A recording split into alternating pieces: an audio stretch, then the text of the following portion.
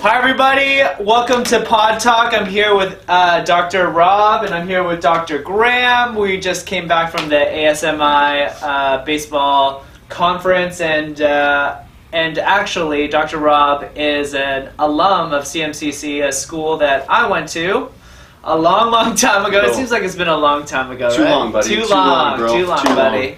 And uh, Dr. Robb has developed a system that I didn't even know about until like this weekend. So I'm just gonna have him kind of talk about what he's developed. So the system is called Athletic Movement Assessment. If you want to take a look, athleticmovementassessment.com. And essentially it's all about a hack. Our brain perceives function based on demand. So to actually influence demand, you got to know that proprioception on three levels. Yeah. Where the limb is in space, when it moves, and how much motor action you need to actually produce that movement. When people have problems, you either get pain, stiffness, or you just don't feel good and you can't move. So with a hack, what you're trying to do with your external cues is to actually give the brain the missing links to that proprioception to actually make change. If the hack makes it easier, then it's more of a coaching training cue. If it's harder, then you realize where to actually do your treatment. All right. Okay, so we have Dr. Graham right here, and he has some stiffness in his. You said you have stiffness in the Medial elbow. medial elbow. So let's go into what you would normally do in a normal assessment. Now, is there like a history that we have to take? Yeah, so you, you put into context. Like it's um, what's the movement issue? External rotation.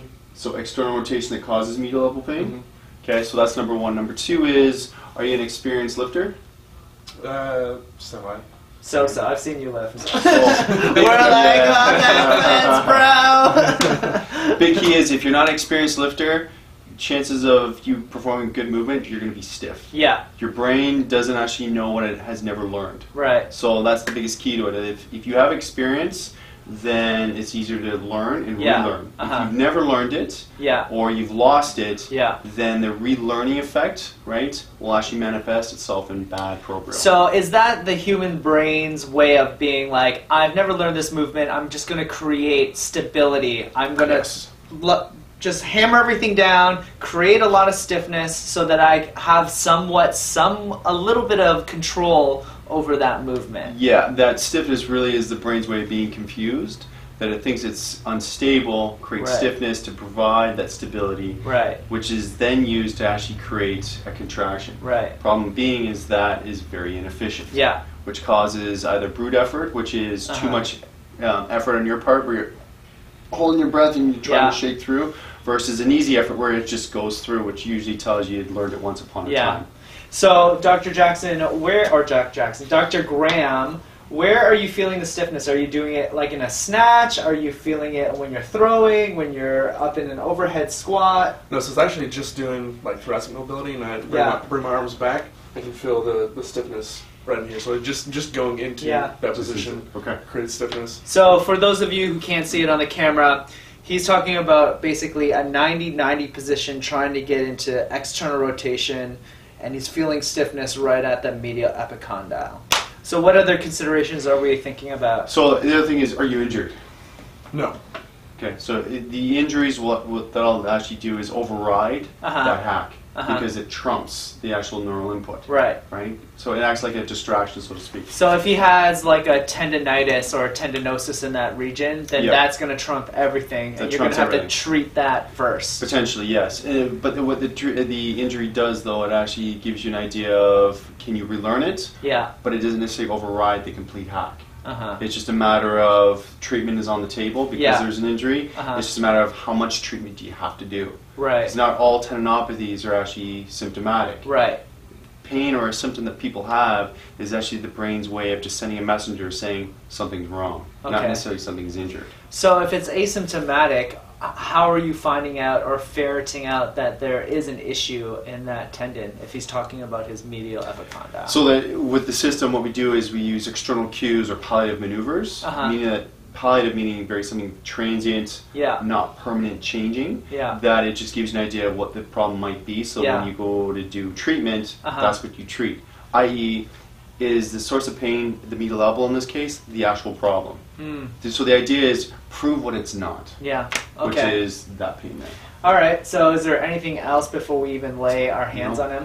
No. All right. All right. Let's get Let's close do up. Do you get it stiffness here? No, it's uh, just distal to yep, right in there. Right in through there. Okay. So when I do this, this hurts? Yep. Okay. Does it hurt or is that actually just stiff? Oh, no, it actually hurts. That hurts there. Yeah. Okay. So you've got a, a symptom there, it's just distal, right about two finger breaths below medial epicondyle, so right off the uh, sublime tubercle, i.e., where the anterior bundle of the UCL would attach. So basically, what you do is um, this hurts, external rotation hurts the medial elbow. Right. So what you do is here's the hack: tighten your stomach, pull down your shoulder blade as hard as you can, keep them tight. How's your pain? That's still there. Still there. So no change. So verbal hack, just stabilize the trunk, nothing changes. We stabilize the trunk and we stabilize the Yes. shoulder This is the scapula. cuff So you actually provide a base of glenohumeral rotation support through there. So basically what you do now is keep that tight, keep everything stable. All right. This hurts. Still, does it Yeah. hurt? Push your elbow down into my hand. No, not the hand. Just push down in the elbow right there. Is there still pain? Not as much. Not as much. Okay. So the next thing you do is make a fist as hard as you can. Do you have any pain? No.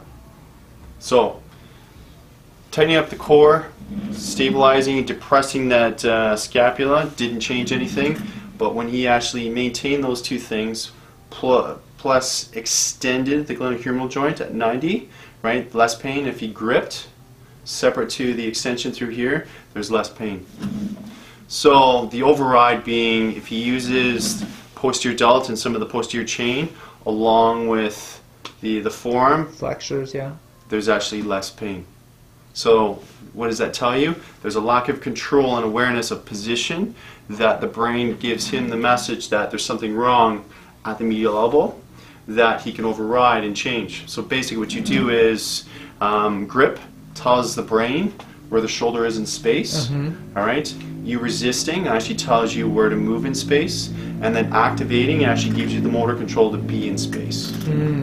So those three elements of proprioception, limb position Yeah. at 90, limb movement when you're actually contracting, Yeah. and then actually firing muscle groups, Yeah. right? Synergies as they're called, actually now stabilizes the, the system that the Uh-huh. brain doesn't perceive a threat. Okay. So, So- what you're saying is what you're floating out there is is that the reason why he has pain is because his elbow is telling him you are in an unstable position at this point in time. Stop fucking doing this Yeah. or else you're going to hurt me more. Yeah, essentially the brain's like, I don't like this. Yeah. It's it's not safe, unstable can be a word used, or a lack of control that it, it shoots off a messenger, pain or stiffness. Right. That the whole key to this is, are you shooting the messenger when you go to treat? Yeah. Are you actually dealing with the issue at hand? Because Okay. the, the trap is people say, "Oh, I'm sore there," they'll treat there. The argument becomes with this system, sometimes you don't actually have to do that. Yeah. Because a lot of times, if you treat, you're shooting the messenger and nothing happens. Hmm. So this gives you an, in, uh, some insight as to, okay, what am I doing? Hmm. Do I actually need to treat you, or do I actually need to give him some exercise to actually load the system? So in shoulder problems, here's the trick: keep your hand on your stomach, rotate your shoulder, right? So without moving your hand. This is how your brain works for the hand. So move the glenohumeral joint, not your shoulder blade, right? Move the shoulder, rotate it without moving your hand. Your brain can't. Right. So for you to actually have a stable shoulder, a functional shoulder, all right, your hand has to move. Yeah. That's how your brain operates. So proprioception is always based on limbs, Hmm. right? For anything proximal, meaning the, the trunk and the core, their job is to ensure that everything is stable for you to actually move. Hmm. That's interesting. So now the hack becomes because it was all verbal, tightening everything up and you actually cueing certain muscle groups. Right. Your exercise is actually you do a hang or you do a farmer's carry. Hmm. Basically, turn your hands on. Okay. Sympathetically, you turn on the system autonomically Yeah. via your hands and or your feet. So, uh, w- so you what you're saying is the way to treat his elbow pain is doing like an active hang on a bar, maybe a farmer's carry, Carry, shoulder carry. shoulder carries with a kettlebell. Just turn the system on. and Actually get the brain to clue in to core, scap, and grip function Right. to get rid of that pain. And I'll give you an example of how I would have thought it. I would have just done an orthopedic test into this area. I would have felt it. It's see like I can recreate pain Mhm. in this area. Yes. So I'm starting. So how how are you discounting that it might still not be like a tendinosis? Yeah, so then the key is do you need to treat that Yeah. or is that actually a byproduct of poor function? So what you're saying is this could just be the smoke. This all of this could actually be the fire. You got it. So just because it doesn't feel good underneath your fingers doesn't necessarily mean that it's actually bad. Yeah. Yes, it hurts, but the point being is what's the true messenger? This bothers you if you move, Hmm. not just standing there because he's poking at you. Yeah, it's not the cause of the problem. Exactly. So the idea becomes with the tendinosis is we know that if you load it and you treat it, it doesn't necessarily change. Yeah. So the premise being is what's the messenger? Why is there pain? Yeah. And it's the brain's way of actually interpreting what's going on. You just got to figure out is it real? And is it the true problem, or is there actually something else that actually creates the issue Hmm. for you? The smoke. Yeah. All right. Thank you, A Robb. So, how could somebody get more information about your seminars? Seminars. Um, hopefully, we're in Dallas. Yeah. One day. Yeah, Um, we will. But go to athleticmovementassessment.com and check us out. All right. And uh, if they want to follow you on Instagram, or Twitter, Yeah, we're at Assess Movement. And, and uh, on Twitter as Uh-huh. well as on Instagram, same hashtag, uh, same label. Awesome. Well, I want to thank you guys for uh, hanging in on with us. And if you guys want to get a hold of me, you know all my social media. It's like right over here. And uh, move free, humans.